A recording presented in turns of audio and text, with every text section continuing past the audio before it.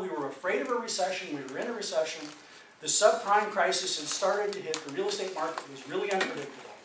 We projected that in the 2010-11 fiscal year, we would have $117 billion of revenue. Today, the LAO announced that we're going to have about $87 billion of revenue. Okay, so that's a huge difference.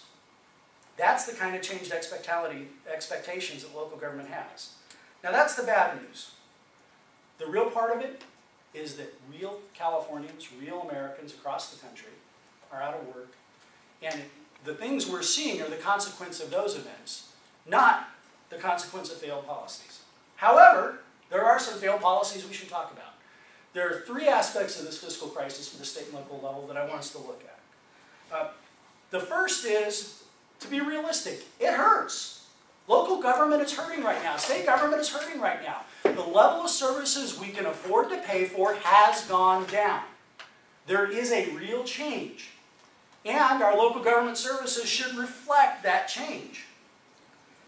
Uh, one of the problems that we see in our public finance system is that it's been predicated historically on a growth mentality. What do I mean by a growth mentality? Property taxes are going to go up next year, sales taxes are going to go up next year, income taxes are going to go up next year. Not only do we expect it, we depend on it. And therein is part of the problem.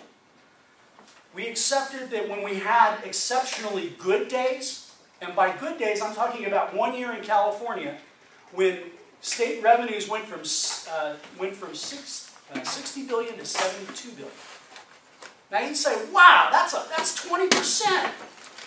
You can't spend money that fast, right? Well, yeah, we can. Uh, and people would say, maybe we should save for a rainy day. I'm here to tell you the rainy day came. And it's here today. And state, I, I want to point out, California is one example. There are other states, and I won't say these states are more responsible than California.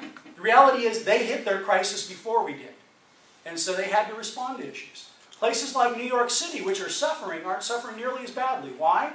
Well, they went bankrupt a few years ago, and they had to institute restrictive finance measures. Texas, during the 1980s, many of you may remember the savings and loan crisis, devastated the state economy.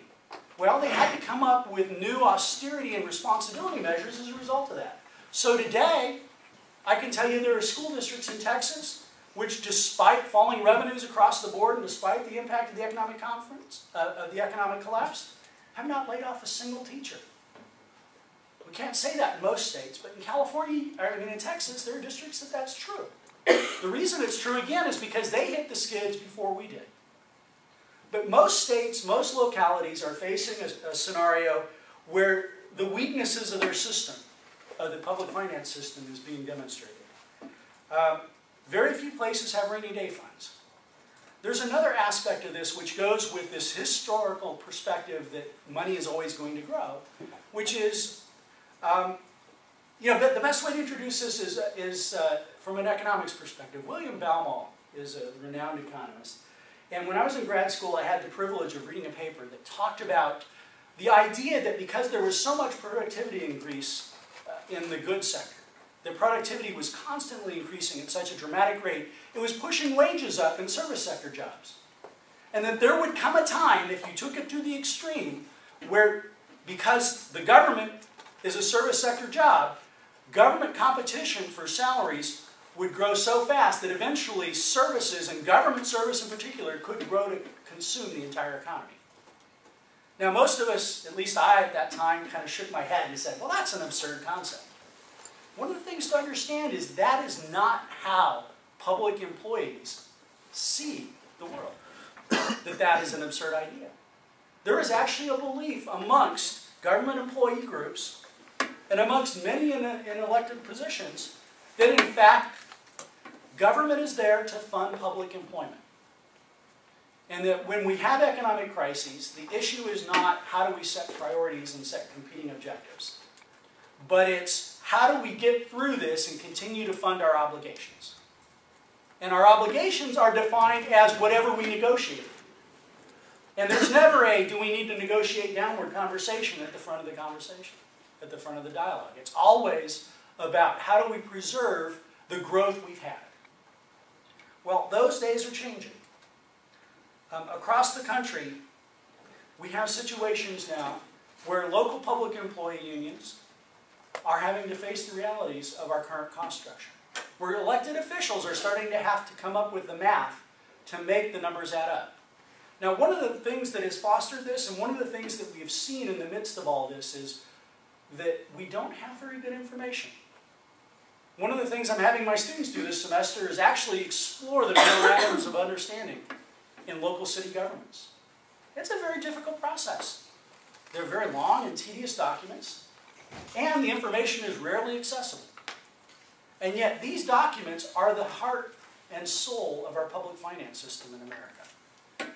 And the fact that nobody knows what's in them, most people can't find them, and that most people don't understand what's written in them even if they do find them, tells us a lot about why there's a disconnect between where our public monies are going and what we're getting for our services.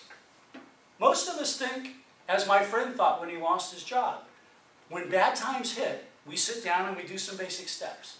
We assess the damage. Okay, how much cash do I have on hand? How much income do I have?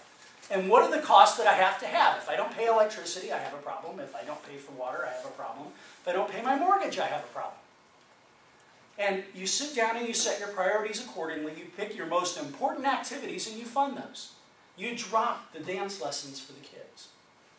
You drop the third car. Right? You start cutting back in the areas that are essential. One of my friends sold his house because he couldn't afford the mortgage payments. Took a huge loss on it, but recognize that that's what he needed to do. But you bring your house in order based on your income today.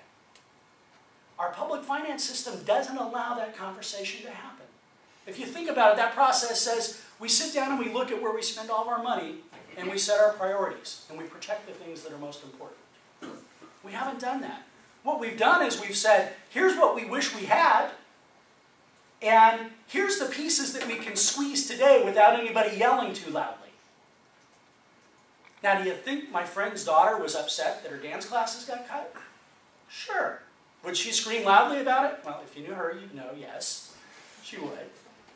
But the choice was made because it was the right thing to do, and the process allowed for that. Our public finance system doesn't have that conversation. In fact, just yesterday, I got on my front porch a letter from the Simi Valley Police Officers Association telling me how evil the city council was. The reason? Because the city council was telling them to not take a pay cut, but to take a pay freeze. Now, I know lots of Californians, I know lots of people across the country who would be happy with the pay freeze instead of the 100% pay cuts that they received.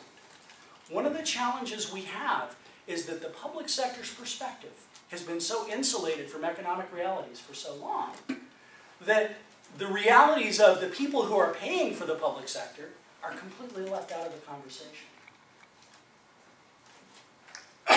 the other side of this conversation, and you see this in the LA Unified School District. I don't know if you know, but before the LAO announced today that the state has $21 billion to fund, and guess what? We spend a lot on schools, some of it's coming from there. LA Unified has about a half a billion dollar deficit right now that they need to address. And the uh, administration has said, we want you to take four furlough days, which are unpaid days off, so it's a, it's a real pay cut of you know four to five percent, maybe more this year, and then a 12% pay cut from what you would have had next year. So functionally, it's about um, it's about a 10% pay cut for next year in terms of their dollars today. And the union's response was, no, we want you to cut overhead. Now think about most employment organizations that you're in. Your boss comes and says, look, we're either going to lay people off or we're going to make cuts. And your response is, no, we think you should take a pay cut. Now, I will say that clearly there is lots of opportunity for cutting overhead out of LA Unified School District. Um, that's a whole other separate conversation.